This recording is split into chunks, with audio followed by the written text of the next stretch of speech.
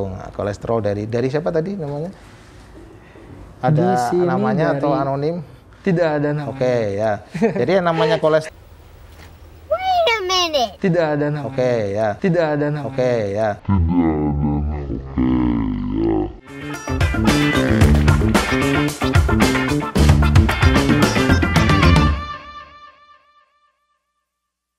Assalamualaikum warahmatullahi wabarakatuh. Halo Sobat RSUD Kota Bogor, selamat siang dan salam sejahtera bagi kita semua. Apa kabar nih teman-teman RSUD Kota Bogor? Saya harap teman-teman sehat-sehat selalu ya. Kali ini RSUD, Kota Bogor mempunyai program yang inovatif, kreatif, dan edukatif. Tentunya kami mempunyai podcast RSUD Kota Bogor. Nah, untuk teman-teman, tenang. Di sini kita sudah melakukan protokol kesehatan. Di antaranya kita sudah menggunakan masker, ya dok ya, sudah menggunakan uh, mencuci tangan, dan tentunya divaksin juga. Dan yang paling penting, kita sudah menjaga jarak aman. Nah, gini teman-teman, kalau pepatah bilang, tak kenal maka tak sayang. Maka dari itu perkenalkan dengan saya Gani Anggara Wardana. Di podcast kali ini tentunya saya tidak sendirian. Di samping saya ditemani oleh sosok yang sangat inspiratif, tentunya yang sangat luar biasa. Dia, beliau adalah dokter spesialis jantung di RSUD Kota Bogor. Mari kita kenalkan. Bersama saya telah hadir Dr. Indra Nur Ahmad SPJP. Betul ya, Dok? Ya, terima Ya, kasih betul. Terima kasih, Dokter. Ya, Halo, sama-sama. selamat datang ya, Dok ya. Apa Ya. kabar kabar? Alhamdulillah baik kabarnya. Alhamdulillah sehat ya, Dok ya. Sehat. Oke, Dok. Boleh, Dok, kita sapa-sapa dulu untuk teman-teman yang ada di Zoom meeting. Halo. Yang ada di Instagram juga halo. Bertemu lagi di podcast RSUD Kota Bogor ya.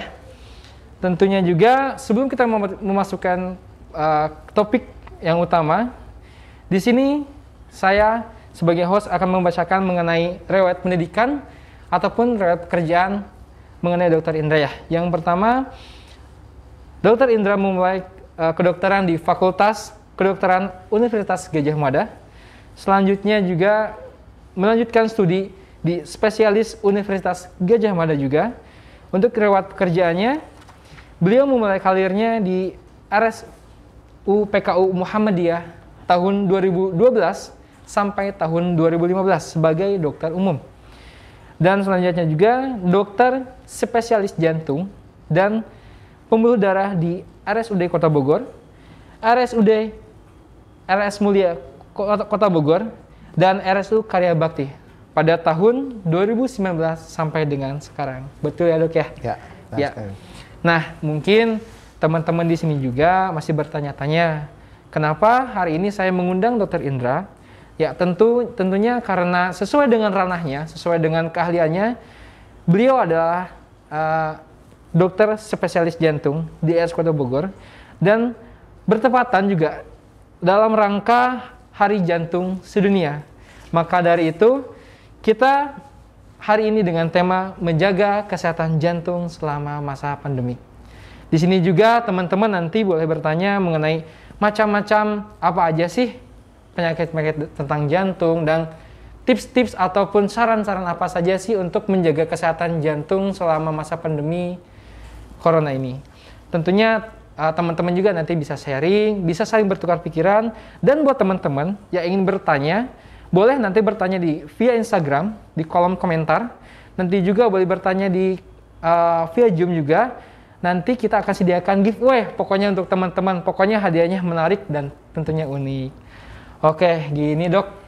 Salam kenal juga ya. Saya ulangi lagi, Gani Anggara bersama Ya, Dr. ya? Indra. Oke, dokter.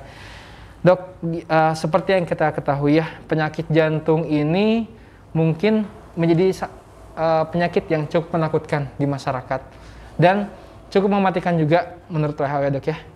Nah, sebenarnya dok, dengan adanya diselenggarakannya tema menjaga kesehatan jantung selama masa pandemik ini, apa sih dok yang ditekankan oleh dokter sedunia mengenai jantung ataupun adanya kegiatan ini? Ya, sebenarnya untuk tema tahun ini tidak jauh dari tema yang tahun lalu ya. Jadi tema utama pada tahun ini yaitu use heart to fight cardiovascular disease artinya adalah kita bagaimana kita berupaya dengan sepenuh hati untuk melawan eh, penyakit jantung. Kita tahu penyakit jantung itu penyakit yang mematikan. Penyakit yang kalau bisa dikatakan itu terutama mesti selalu di, di atas menyebabkan kematian. Kalau dari WHO sendiri itu dikatakan 18,5 juta atau 18,6 juta itu itu kematian disebabkan oleh penyakit jantung. Ya mungkin mungkin dari teman-teman mungkin uh, pernah melihat ya tagline-nya dari Perki atau dari WHO ya itu ya. Jadi penyakit jantung merupakan bisa dibilang bisa dikatakan sepertiga penyakit sepertiga orang yang meninggal itu bisa disebabkan oleh penyakit jantung. Nah ini kan merupakan kabar yang menyedihkan ya bagi kita ya kabar menyedihkan karena ternyata kok masih aja untuk zaman sekarang ini penyakit jantung itu adalah penyakit yang utama padahal dengan berbagai kemajuan teknologi kok masih aja ada penyakit hmm. gitu. Nah tapi kabar baiknya ternyata 80% dari uh, jantung ini itu bisa dicegah. Nah ini makanya yang menjadi menjadi apa? Menjadi kita upaya kita bersama bagaimana kita bersungguh-sungguh sepenuh hati itu melawan uh, penyakit kardiovaskuler ya makanya tema secara umum temanya use heart to fight cardiovascular okay, disease karena baik. itu begitu kira-kira iya baik dok mungkin ya dok ya untuk sekarang ini penyakit jantung juga cukup menakutkan ya dok ya nah dok saya juga kadang penasaran dok ya apa sih dok yang menjadikan uh, ciri-ciri ataupun gejala-gejala seseorang ketika mempunyai penderita ataupun riwayat jantung, dok? Ciri-cirinya? Ya, kalau gejala secara umum yang namanya ya. gejala ya. jantung ya itu nyeri dada itu paling ya. paling utama ya nyeri dada ya. Kemudian sesak ya. Cuman ya memang gejalanya itu kadang-kadang susah dibedakan. Susah dibedakan. Ya, susah dibedakan oleh karena itu memang kita perlu perlu istilahnya mengupas tuntas satu-satu begitu. Jadi misalnya nyeri dada, apakah nyeri dadanya ini ada kaitannya dengan faktor risiko yang dia punya? Itu misalnya seseorang punya faktor risiko diabetes misalnya yeah. atau faktor risiko kolesterolnya tinggi atau hipertensi. Nah, ini nah kita kaitkan juga di sana apakah nyeri dadanya itu ada kaitannya dengan itu. Kalau memang ada ya itu mungkin risikonya ya, nyeri dadanya itu berasal dari jantung, jantung. Nah, seperti itu. Dan juga ciri-ciri nyeri dadanya juga beda. Nyeri dadanya sebelah kiri biasanya kiri. ya, kemudian bisa menjalar ke lengan atau ke leher gitu, hmm. seperti tercekik biasanya pasien itu mengatakan seperti tercekik. Nah, itu di situ juga gejalanya khas gitu. Nah, kalau misalnya kita bisa menemukan gejala khas itu disertai dengan faktor risiko yang tadi ya, ada diabetes, ada apalagi merokok. Nah, merokok. Nah, itu mungkin merokok bisa dikatakan oh nyeri dadanya dari jantung. Tapi itu yang baru satu ya, baru dari nyeri dada aja kalau dari sesak napas juga bisa. Sesak napas paling sering ya biasanya sesak, sesak napas, napas. Pasien datang terus kakinya bengkak. Nah, itu biasanya ke sana nah, banyak sekali itu itunya apa namanya? Uh, gejala-gejalanya. Oh. Nah, begitu ya, Dok ya. Mungkin di antara salah satunya yang tadi mungkin gejala tidak umum dengan penyakit-penyakit yang lain. Yeah. Nah, Dok, Gini dok, untuk sekarang ini kita sedang dihadapi dengan masalah pandemi ini dok, tentunya adanya COVID-19. Yang di mana banyak masyarakat ataupun orang-orang yang bertanya mengenai uh, pandemik ini dok, jika seseorang mempunyai riwayat jantung, jika dirinya terpapar COVID-19, hmm. apakah beli, uh, dirinya harus atau harus secara rutin tes PCR atau swab antigen dan jika di uh, garis besarkan dengan COVID ini dok, apakah seseorang jika mempunyai riwayat jantung ini mempunyai efek yang luar biasa beratnya dengan seseorang yang normal pada umumnya? Ya, oke, saya jawab yang kedua dulu kalau gitu ya. Baik. Jadi yang orang dengan penyakit jantung sebelumnya itu bukan lebih berisiko ya, tapi kalau kita bicarakan risiko antara orang penyakit jantung sama orang normal sama. ya kalau kena covid kalau ada yang terpapar covid ya bisa kena gitu yeah. ya ya yang paling itu adalah penyakit jantung kalau misalnya sudah kena covid nah itu kemungkinan pemberatnya lebih tinggi dibandingkan dengan orang normal. Ya sekarang gini aja. Penyakit jantung, misalnya pasien datang itu udah buat jalan aja 100 meter sesek. Apalagi kalau kena COVID yang menyerang paru-paru, tambah sesek, ya, udah sesek tambah sesek. Nah, ya, ya, jadi kemungkinan memburuknya itu lebih tinggi pada pasien-pasien dengan penyakit jantung dibandingkan dengan penyakit normal, penyakit yang nggak ada penyakit maksudnya ya, atau yang normal gitu istilahnya. Apa contoh yang kedua misalnya pasien dengan uh, pernah riwayat serangan jantung gitu ya, serangan jantung. Nah, penyakit COVID sendiri kan bisa menyerang mana aja ya, termasuk pembuluh darah juga bisa diserang oleh COVID. Nah, bisa mengakibatkan serangan berulang. Nah, serangan seperti berulang. itu kira-kira. Oke, Dok. Nah, jika kan tadi sudah mengulas tentang Covid, Dok ya. Seseorang nih, Dok, kan untuk sekarang target pemerintah itu harus seluruh masyarakat Indonesia harus divaksin. Nah, jika seseorang mempunyai penyakit atau riwayat jantung, apa boleh dok divaksin? Atau ada jenis-jenis uh, vaksin lainnya dok? Seperti apa dok?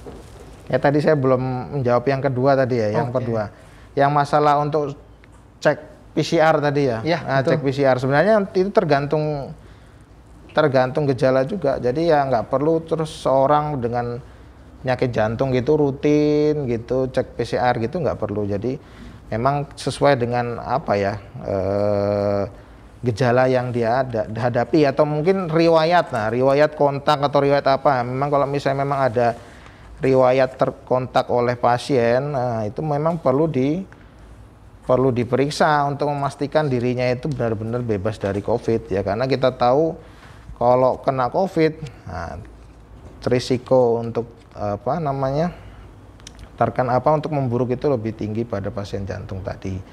Jadi nggak perlu yang namanya tes PCR itu ya. Oh iya. Nah, tes PCR. Nah, terus kalau untuk vaksin, nah, vaksin, nah, vaksin pada intinya untuk pasien-pasien ya penyakit jantung ya sebenarnya boleh-boleh saja ya vaksin dengan segala jenis vaksin itu diperbolehkan. Jadi eh, saya bahkan kalau ketemu pasien ya sudah vaksin belum mesti saya tanya. Kalau ya. misalnya memang sudah vaksin ya oke okay, saya perhatikan apa mau yang di apa kemudian gejalanya apakah ada atau enggak habis vaksinasi. Kalau misalnya belum vaksin maka saya selalu bagaimana caranya mengedukasi masyarakat untuk vaksin gitu. Karena tadi gejala efek samping dari vaksin itu lebih ringan bisa dibilang dibandingkan dengan kena COVID. Kalau udah kena COVID, penyakit jantung, wah kemungkinan memburuk ya hmm. masuk ICU COVID. Kalau udah masuk ICU COVID, itu pemburukannya benar-benar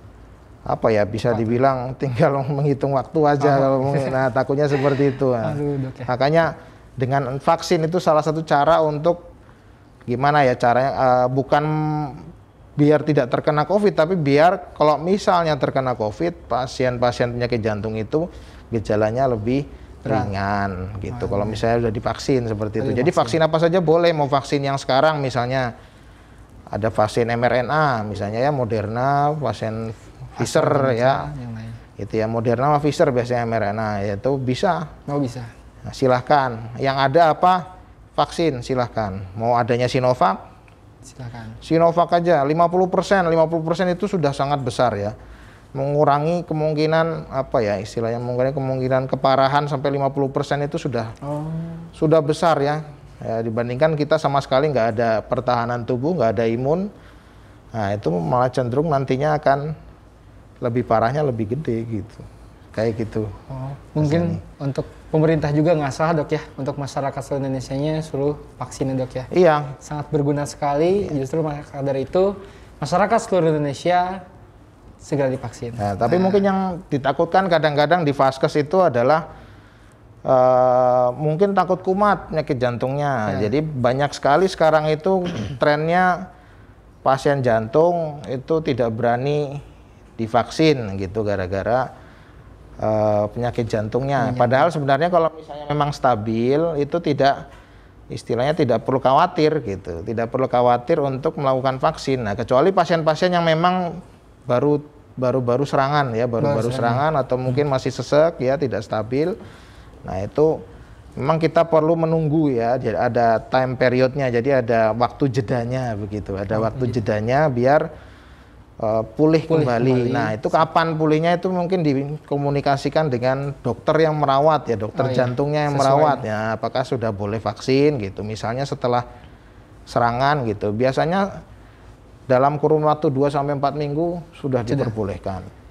Gitu. Hmm. Jadi nggak apa-apa. Kalau yang sekarang yang terbaru 2 sampai 4 minggu itu sudah bisa direkomendasikan. Kalau mungkin yang sebelumnya bisa sampai tiga bulan vaksin gitu tiga bulan dari serangan baru boleh vaksin. Mungkin sekarang lebih cepat lagi gitu, dua empat minggu stabil. Kalau misalnya memang apa nggak nggak ada serangan lagi, nggak ada nyeri dada lagi, bisa divaksinasi gitu untuk biar perlindungannya karena memang sedang digenjot benar-benar digenjot yeah. habis-habisan untuk vaksinasi ini biar untuk segera ya COVID ini segera turun lah gitu yeah. ya.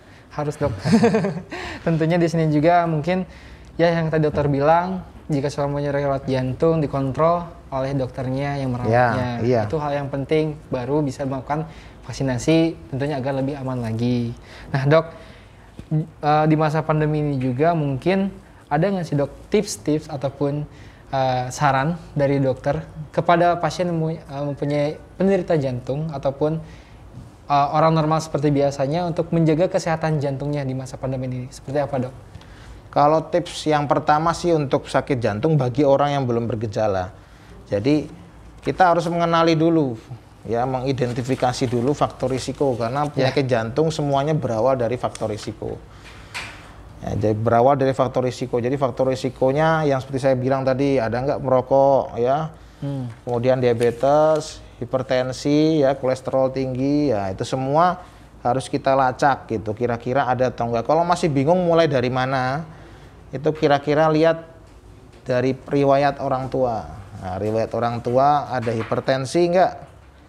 Hipertensi orang tua kemungkinan diri sendiri juga mungkin ada riwayat. Mungkin, ada ya. bisa ya ada ada faktor keturunan untuk lebih mudah terjadinya hipertensi atau orang tua misalnya ada diabetes ya kemungkinan terjadi diabetes gitu masih bisa. Kita mulai dari sana. Jadi kita cek dulu item itu misalnya gula ya, gula misalnya gula tinggi ya kita langsung kita atasi gitu. Atasi. Kalau misalnya ternyata gulanya tidak tinggi atau mungkin tidak ketemu ah, baru kita cek yang lainnya ya. Yang paling gampang memang sebenarnya adalah pengecekan pemeriksaan fisik biasa ya. Kalau misalnya mengecek itu kan sebelum pemeriksaan laboratorium kita tahu gula darah kan biasanya kita lakukan pemeriksaan fisik seperti pemeriksaan tekanan darah, pemeriksaan uh, nadi, denyut nadi. Jadi kita bisa tahu itu nah, tekanan darah kita misalnya tinggi atau tidak nah, kita bisa tahu. Kemudian denyut nadi terlalu cepat tidak nah, seperti itu.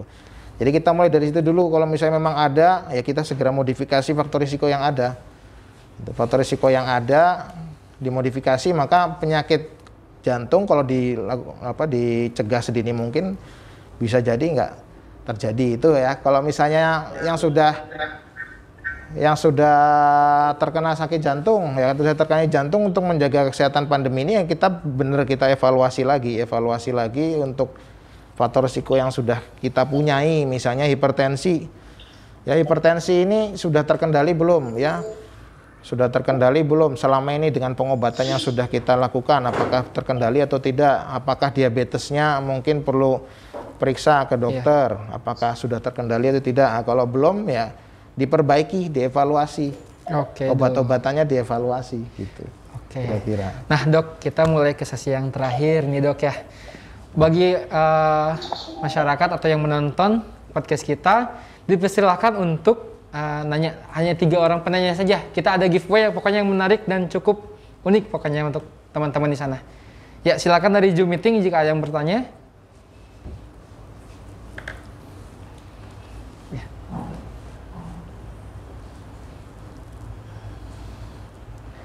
Oh ada banyak yang nanya. Oke banyak juga ya dok ya.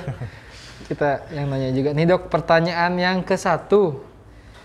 Dok saya 42 tahun. Kolesterol saya tinggi. Apakah saya harus rutin minum obat kolesterol setiap hari? Kalau harus sampai kapan? Katanya. Nah, Seperti itu dok pertanyaannya. Nah ini yang perlu dikoreksi ya sebenarnya. Jadi yang namanya ya kolesterol 42 tahun ya kolesterol itu faktor risiko ya faktor risiko dari penyakit jantung nah, kolesterol dari dari siapa tadi namanya ada namanya dari... atau anonim tidak ada namanya oke okay, ya jadi yang namanya kolesterol Wait a minute. minute. Tidak ada nama. Oke ya. Tidak ada nama. Oke ya. Tidak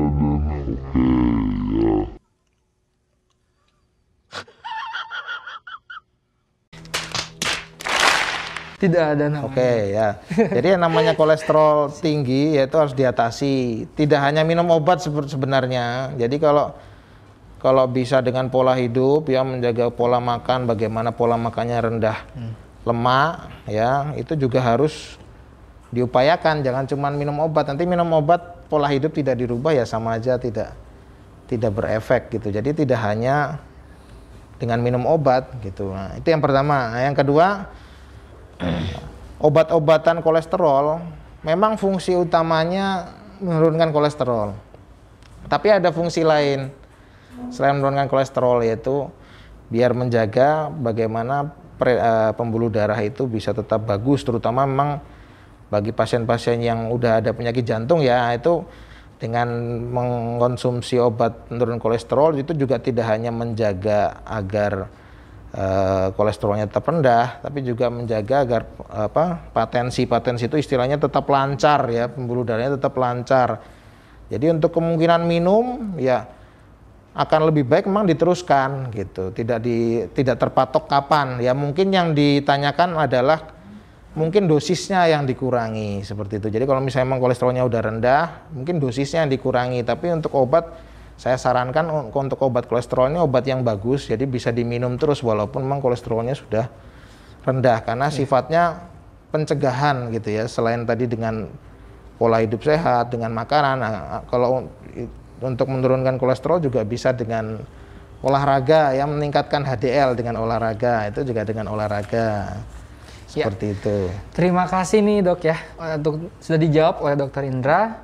Selamat untuk Bapak Marnin telah mendapatkan giveaway dari kami. Oke pertanyaan yang selanjutnya nih dok dari Leni Haryani. Selamat siang dok, izin bertanya. Kenapa dok yang yang sakit jantung COVID hari ini bisa ngobrol kesadarannya cuman besoknya sudah meninggal. Jadi mungkin kemungkinan pertanyaannya ketika ter- terpapar COVID-19 beliau mempunyai riwayat penyakit jantung. Kenapa eh, tindakannya ataupun cepat gitu dok memburuknya eh, dari hari ke harinya? Ya itulah mengapa Pak COVID itu dikatakan sebagai penyakit yang berat ya, penyakit berat. infeksi yang berat karena memang tingkat mortalitas dan tingkat kesakitannya itu sangat tinggi, mortalitas dan morbiditasnya sangat tinggi. Ya kita tahu sebelumnya kan COVID itu penyakit awalnya penyakit pernapasan. Ya penyakit pernapasan, gejalanya sesak, batuk. Ya bahkan dulu ada yang mengatakan COVID itu ya seperti flu lah gitu ya. Tapi pada pada perjalanannya kita tahu bahwa COVID itu bisa eh, cara kerjanya adalah dengan memasuki sel yang ada reseptor S-nya ya. Reseptor S ini mungkin agak advance ya, tapi kita bisa bahas sedikit. Intinya di tubuh itu ada ada sel-sel yang mengandung reseptor-reseptor ten- tertentu ya, salah satunya S itu. Nah, si virus COVID ini bisa menyerang semua organ tubuh yang memiliki reseptor S ini.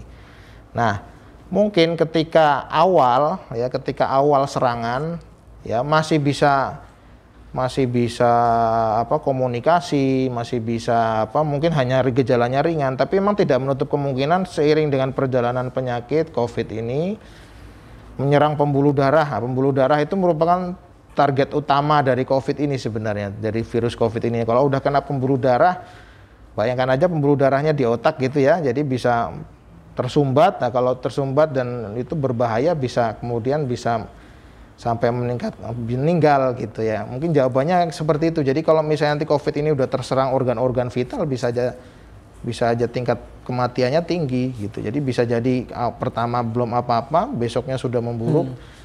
Akhirnya meninggal. Nah, biasanya yang paling cepat itu kalau terkena jantung. Terkena Tadi, jantung. nah, kalau terkena jantung, serangan jantung ya itu lebih cepat meninggalnya. Lebih cepat. Ya, jantung dan stroke biasanya. Ya, cukup mengerikan ya dok. Ah, seperti itu. Jadi jantung Mungkin dan stroke. eh, yang harus ditekankan di sini tetap menjaga pola hidup yang sehat, tetap olahraga yang secara rutin.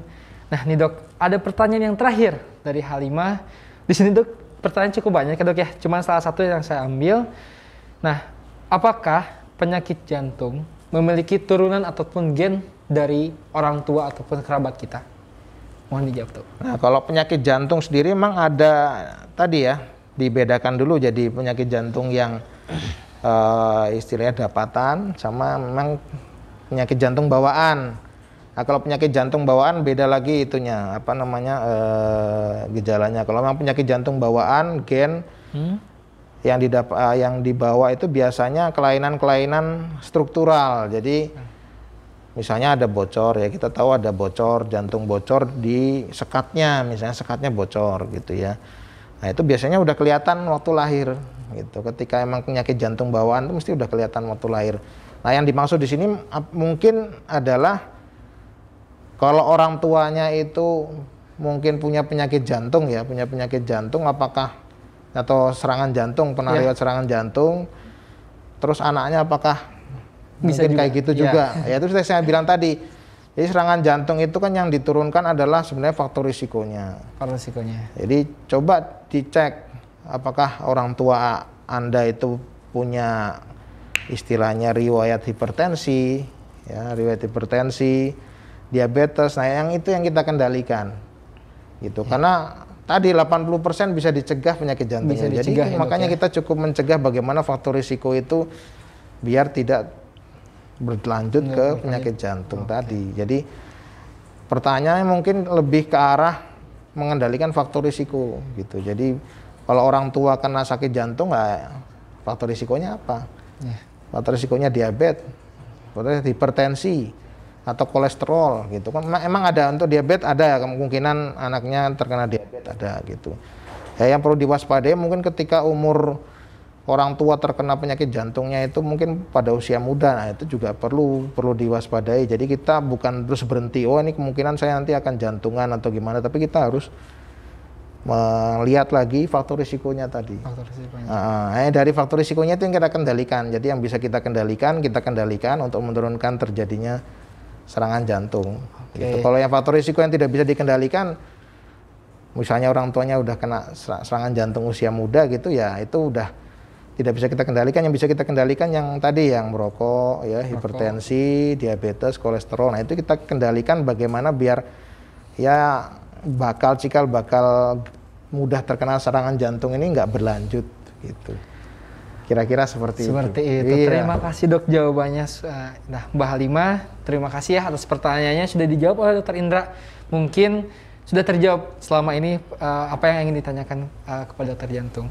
Nah, dok terima kasih dok ya atas waktunya sudah berbagi informasi yang sangat luar biasa, tentunya juga sangat bermanfaat untuk masyarakat secara luas.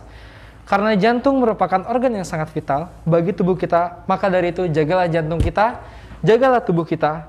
Menjaga jantung tidaklah sulit, hanya butuh komitmen terhadap diri kita. Jangan ragu untuk menjaga jantung sedini mungkin, tidak ada kata terlambat untuk menjadi hidup sehat. Dok, dari sekian lama kita tadi sudah bertanya nih dok ya, apa ada pesan-pesan nih dok untuk masyarakat ataupun untuk teman-teman kita nih di podcast RSUD Kota Bogor untuk pesan yang bisa sampaikan oleh dokter? Silakan. Pesan inti dari uh, acara ini adalah yaitu sesuai dengan tema Hari Jantung Sedunia, ya. yaitu bagaimana kita uh, menyayangi jantung kita agar bisa menyayangi uh, orang lain gitu. Jadi bisa biar kita bisa menjaga kesehatan diri kita, biar kita bisa uh, melawan penyakit jantung itu. Nah, kita harus sepenuh hati bagaimana biar bisa melawan penyakit jantung tadi, menurunkan mortalitas penyakit jantung tadi ya, sehingga ya harapannya ke depannya Indonesia bisa sehat, bisa rendah kematian akibat penyakit jantung. Nah, teman-teman pesan dari dokter Indra jangan lupa pokoknya tetap jaga kesehatan kita. Sekali lagi, selamat Hari Jantung Sedunia ya dok ya. Ya, selamat. Good luck untuk sedunia. acaranya, untuk perayaan Hari Jantung Sedunia. Sobat RSUD Kota Bogor, terima kasih sudah temani kami di podcast RSUD Kota Bogor. Kita nantikan di podcast selanjutnya. Selalu pantengin terus, tetap jaga kesehatan dan tetap tersenyum dan juga bersyukur. Saatnya saya Gani Anggar diri dan dokter Indra undur diri. Terima kasih. Assalamualaikum warahmatullahi wabarakatuh. Waalaikumsalam warahmatullahi wabarakatuh.